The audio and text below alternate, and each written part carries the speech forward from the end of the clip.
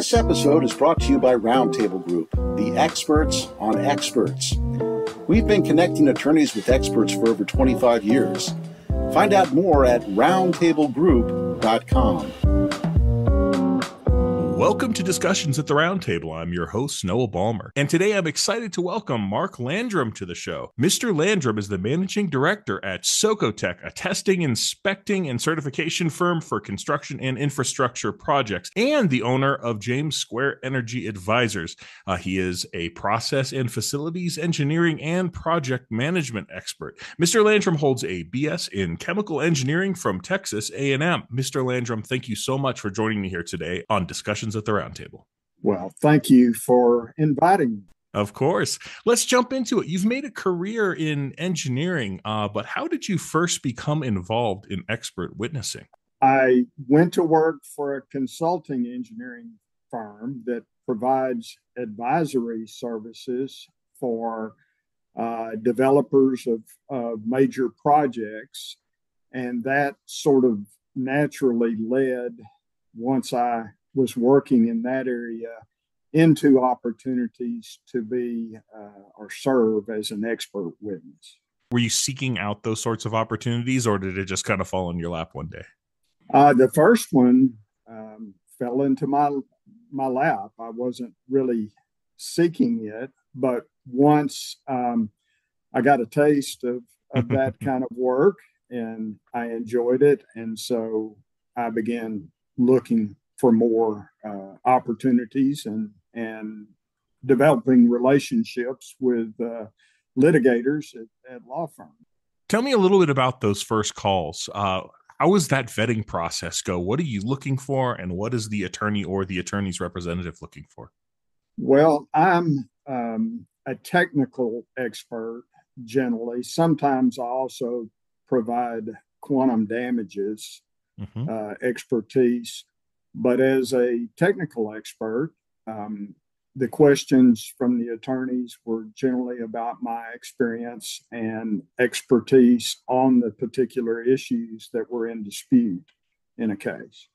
Experts are vetting the attorney as much as they're being vetted by the attorney, right? Uh, so, right. what makes that? What makes that uh, first call, and then in general, what makes that relationship work for you? Um, I, I would say uh, sticking to whatever commitments you make in terms of delivering a report or uh, some work product been asked to develop, um, and um, you know being responsive um, when the attorneys ask you to turn around something rapidly. For example, I I received a request last last Friday afternoon that required me to work over the weekend. So sure, uh, the attorneys are often doing that, so they uh, don't hesitate to ask the expert to uh, go above and beyond sometimes. How how is uh, time management in your particular niche? Do you have difficulty uh, making sure that you have time for your regular work and time for your expert work, or do you use any specific techniques, any calendaring programs, or anything like that to keep track of everything that you've got going on? I do maintain a calendar with with key milestone dates, um, and uh, at present, I, I generally have uh, as uh, an expert witness as many as eight to 10 cases uh, at a time. And so that calendaring and keeping track of when reports are due or when hearing dates are set is, is important. But I've been able to manage that in part because of the start and stop nature uh, of the expert witnessing work. Sure. Which is uh, one of the things I didn't realize just how uh, how much uh, it would be that way. Uh, how often it's hurry up and wait on some cases. Sure, absolutely. Uh, you had mentioned that you were on a bit of a time crunch from this most pre the most recent engagement. Uh, does that happen a lot where you need something yesterday? You need to turn in something immediately, and how do you ha- how do you deal with uh, that kind of time pressure?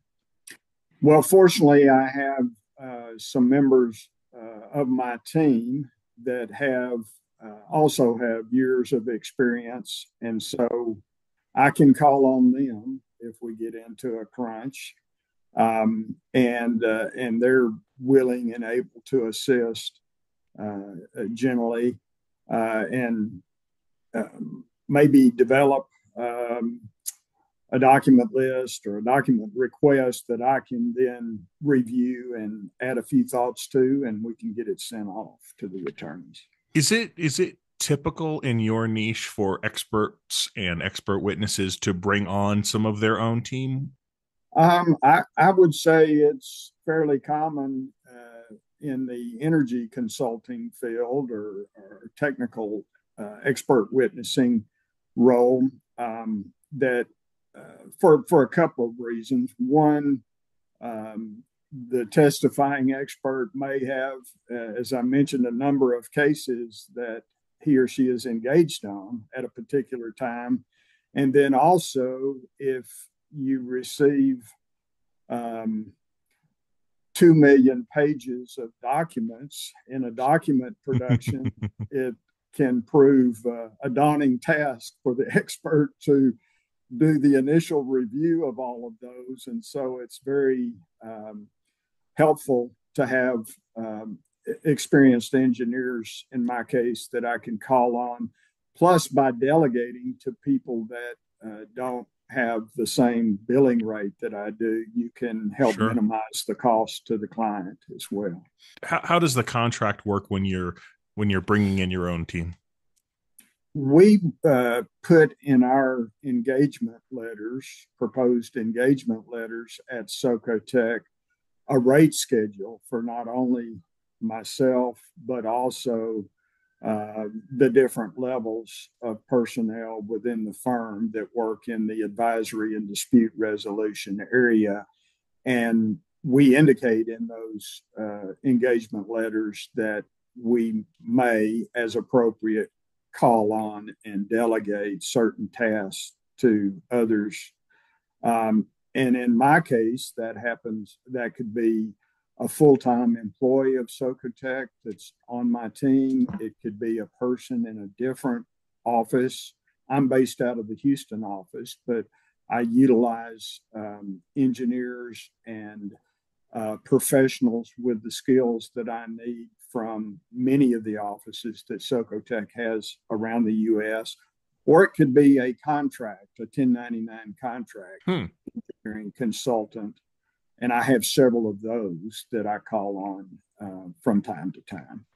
On the subject of contracts, while we're talking about that, do you have any specific rules that you like to put in there? In other words, do you like to take a retainer? Do you, uh, you know, operate on an evergreen policy? Do you do project rates? What's your typical billing schedule like? Uh, we do request a retainer, a nominal amount. It's it's not um, uh, very high compared to what the total uh, fee billings could be on a large arbitration or or, or a lawsuit. Mm-hmm. Uh, but we do request that, and then we submit monthly invoices and uh, um, request that they be paid as as soon as possible. And uh, for those law firms that we have worked with on a number of occasions and, and receive uh, repeat business from uh, their they and their clients are typically very good about paying um, uh, and we we try to get the age of our receivables um, in the 60 day or less range. Some um, types of litigation um, such i've done bankruptcy work I've done some insurance work where I'm working for uh, a number of insurance companies that have uh, taken a piece of a, a, of a, uh, a, coverage limit that a that a policyholder desired, and uh, you'll find frequently that uh, those um, uh, uh, number of days until you get paid may may stretch out longer. In, particularly in the bankruptcy because it has to go through um, approval by a bankruptcy trustee for all the attorney's fees and the and the expert fees. So is oh, and the expert fees as well. So so your pay is contingent on the outcome of the bankruptcy, not necessarily just what's in the contract. Is that accurate?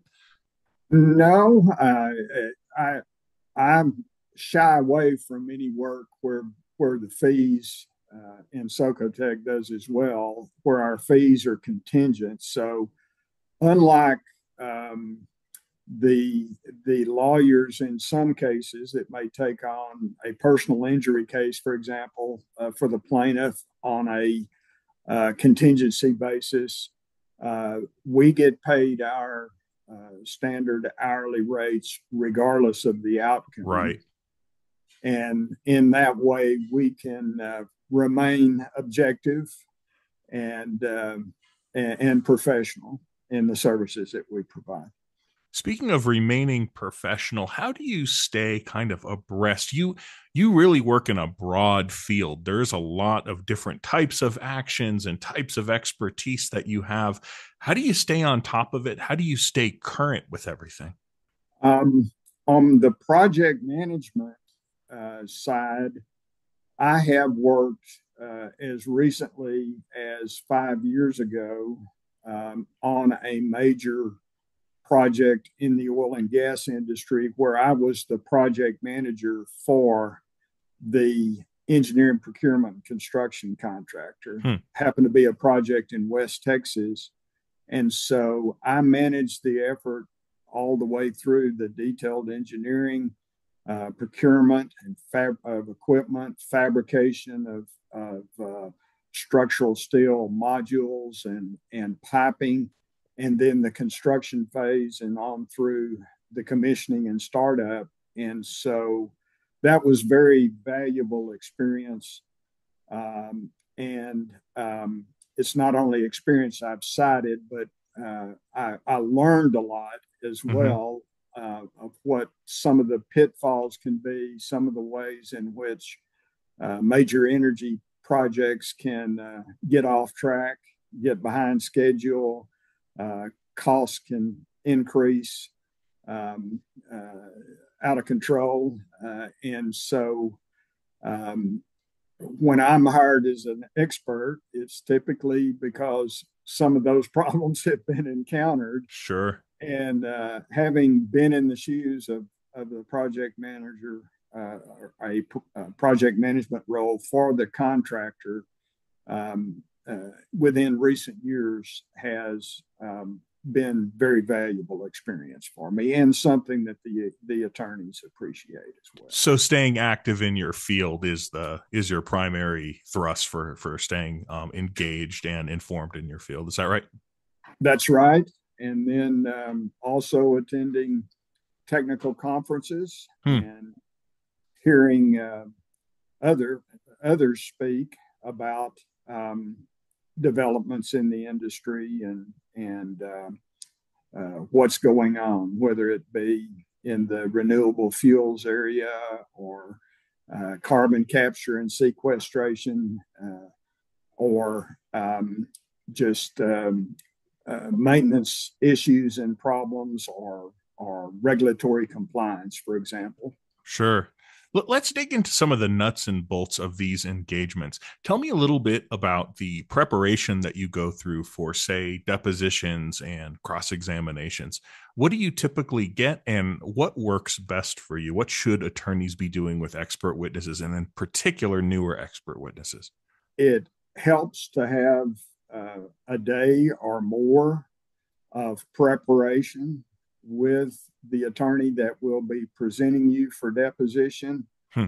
And what's been very helpful for me is for uh, one of the law firm's associates or uh, junior partners to um, role play uh, and um, uh, and um, uh, ask you questions that you're likely uh, to to receive from the opposing counsel during a deposition, and that uh, is very helpful in preparing one for for the actual deposition.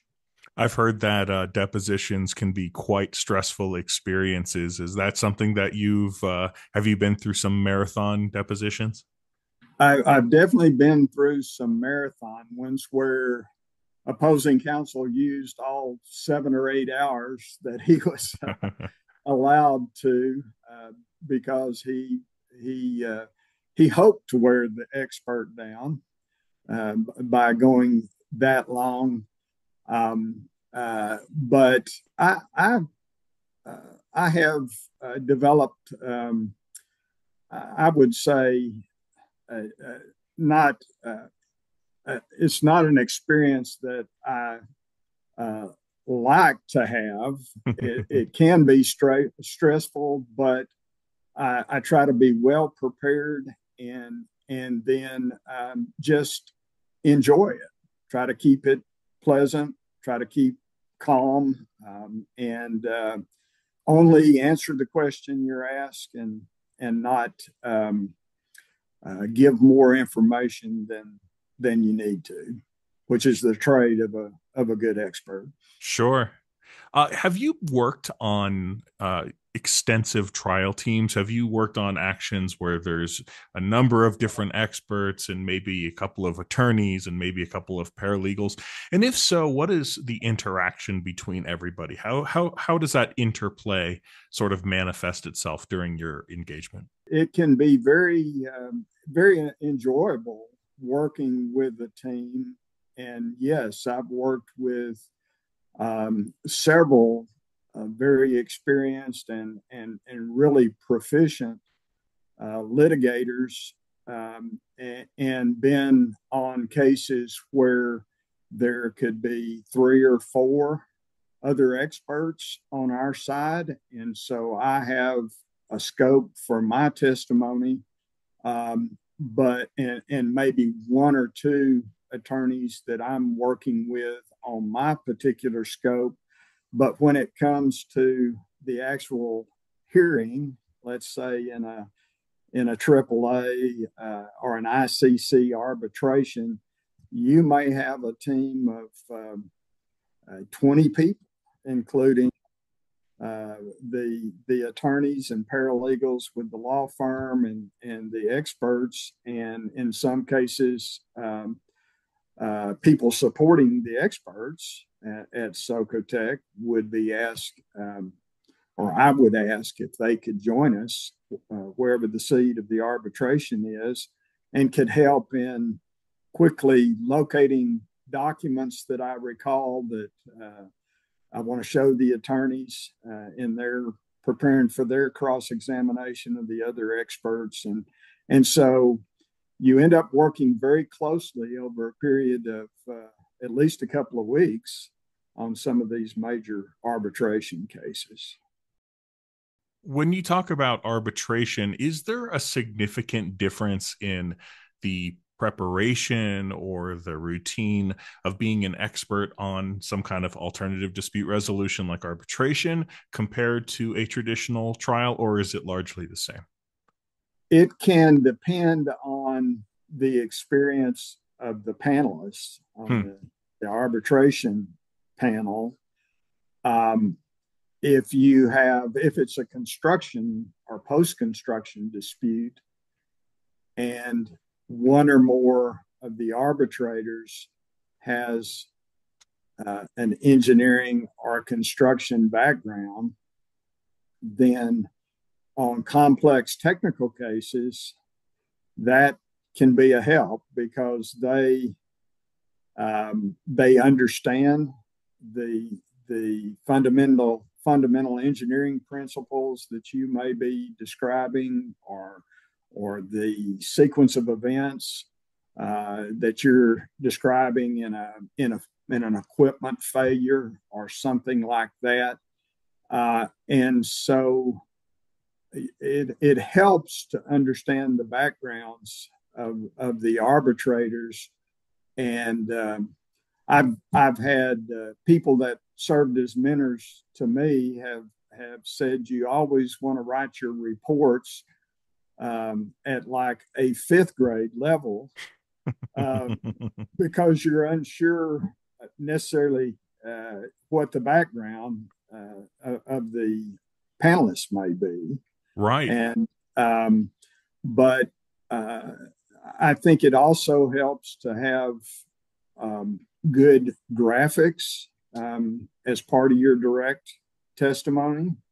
And so that's uh, something I frequently recommend it, on complex technical cases just to be able to have some animated graphics to, to show um, the arbitrators um, uh, a sequence of events or how a process works, for example. That's, you know, I've heard increasingly so that experts are using uh, demonstratives in other words your pictures yes. and and yeah uh, models sometimes yes uh, so it sounds like you like using those and you find them effective. Uh, who typically is in charge of making them? Do you do them yourself or does somebody from the trial team? Do you outsource it? I work um, with processing plants for example or as an example uh, a liquefied natural gas or LNG export facility, there will be at the design stage a complete three dimensional uh, computer aided design model created of those facilities. And you can, regardless of the design platform or software tool that's used, you can export those into uh, a program, a tool called Navisworks, uh, which allows uh, someone to download a free viewer and you can uh, navigate through like you're flying above or walking through the three dimensional model of, of all the piping and equipment and hmm. Uh, pipe racks and so, if I want to show the arbitrators or the trier of fact, um, uh, for example, the development uh, of that 3D model over time, I can take screenshots and show um, what's called, for example, a 60% design review model that had been exported to Navisworks to a 90% and show uh, what additional piping or cable tray uh, uh, or equipment has been laid in by the designer mm-hmm. um, from one model to the to to the next, and that's a very effective uh, demonstrative in many cases to show to the arbitrators, and it's something that that I can do um, uh, with a copy of the Navisworks model. If it's um, where we're trying to animate uh, a process system or piping system and show the flows, uh, or um, if it's a batch process and you you you have different um, uh, steps in an operation, then uh, either I would go or the trial team would go typically to an outside contractor that has that uh, highly highly uh, skilled graphics expertise to prepare those those animations. Sure, absolutely. Do you also employ demonstratives in your expert witness reports? We do. It it always helps to have charts uh, and and um, screenshots from those 3D models or photos that show um, a stage of construction or the inspection of a piece of equipment uh, in the shop uh, prior to delivery to the site. So yes, we try to include uh, those types of uh, those types of figures in the reports, and that that's uh, proven to be highly effective too. You've been an expert witness for a while now. Have you noticed any significant differences, be it technology or otherwise, in expert witnessing generally that has changed over the last couple decades at least? Two things uh, uh, immediately come to mind on that question. One is that um, email communications are discoverable now.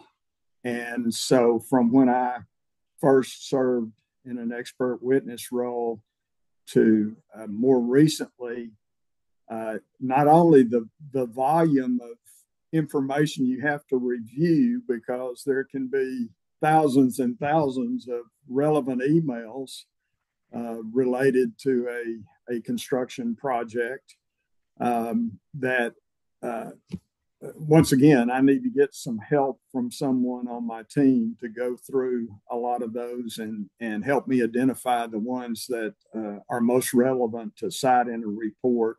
So that's that's been one change, and I would I would say there there has been a trend towards uh, using uh, more specialized experts and hmm. and uh, multiple experts. Uh, so I saw more frequently when I first uh, started as an expert witness that I might be the the only expert witness hired by the side that I um, was uh, consulting for, or working for. But on these larger multi billion dollar cases, it's not unusual, um, as I mentioned earlier, to see three, four, five, or six experts on each side that are addressing different issues. With that in mind, is it important that expert witnesses find a niche?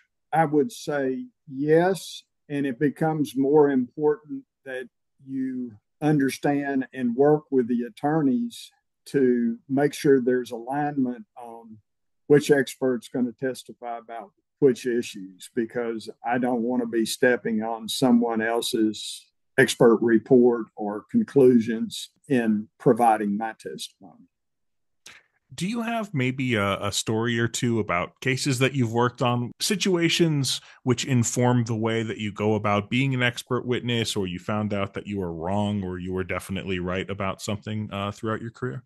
Uh, one one case that comes to mind is was um, an arbitration before a, a three member panel, and uh, I was the technical expert. There was a scheduled delay expert and a damages expert on the same side that, that I was working on behalf of.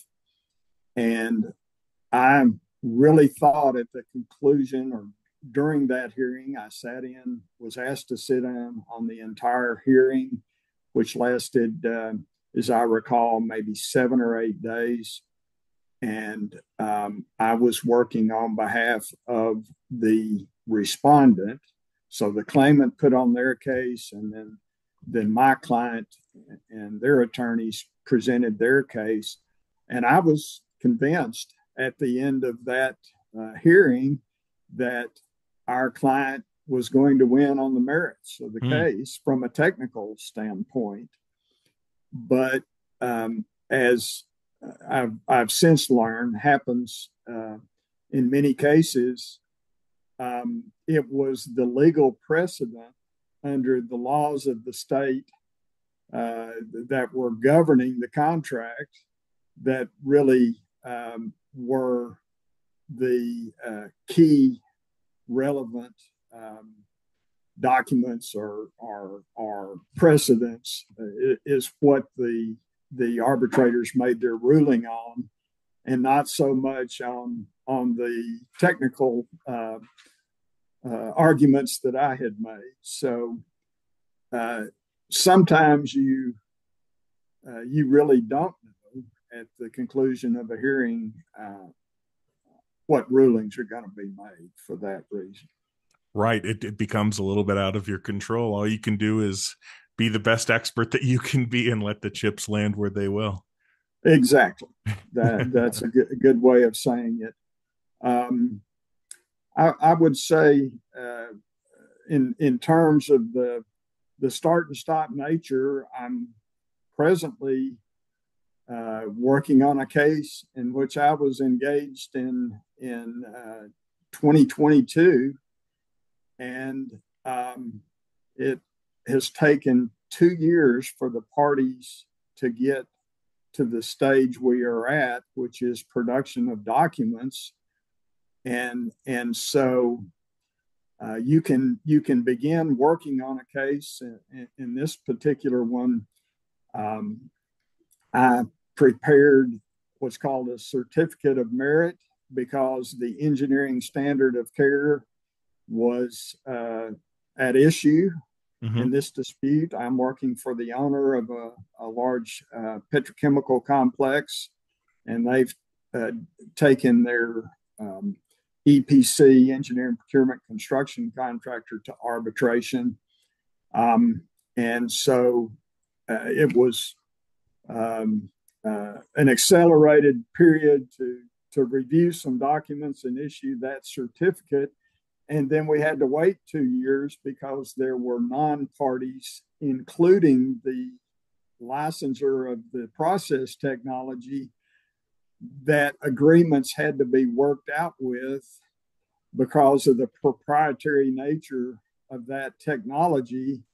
Uh, that that licensor didn't want the proprietary know-how to be shared with the experts for the two sides. So it took a lengthy time to get to the point where the licensor was comfortable with their uh, technology being discussed and and reviewed and and uh, uh, and written about in the expert reports. So can be a very lengthy process in some of these super long actions do you at least have su- sufficient time to be ready to go once the it does roll back around do you know that a decision's being handed down or you're going to be needed pretty soon or do you just get a call we need you tomorrow well the, the parties and the tribunal tribunal in this arbitration case had agreed to uh, a procedural schedule that mm-hmm. includes mm-hmm. a report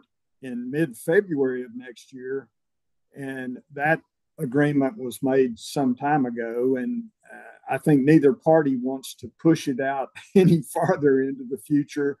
And so, w- whereas we thought earlier this year we had plenty of time to review the vast number of documents and drawings that are relevant to the case, it's now coming down to, oh, we're only here uh, uh, four short months away, and and we still have a lot of document review and analysis to do. So um, once again, it it helps to have uh, some uh, experienced and uh, knowledgeable team members you can call on when it when it gets to be uh, crunch time like this.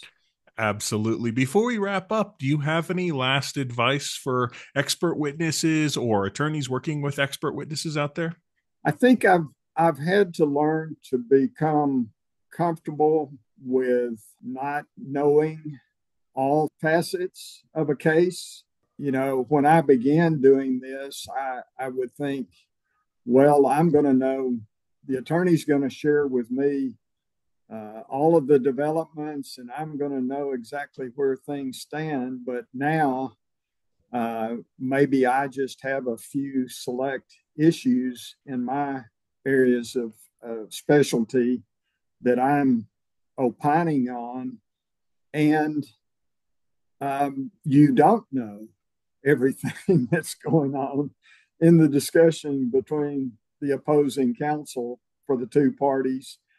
And so, as an expert, you you have to become comfortable with uh, maybe having blinders on in a sense that you're very focused on on the not only the documents but the specific scope of your opinions.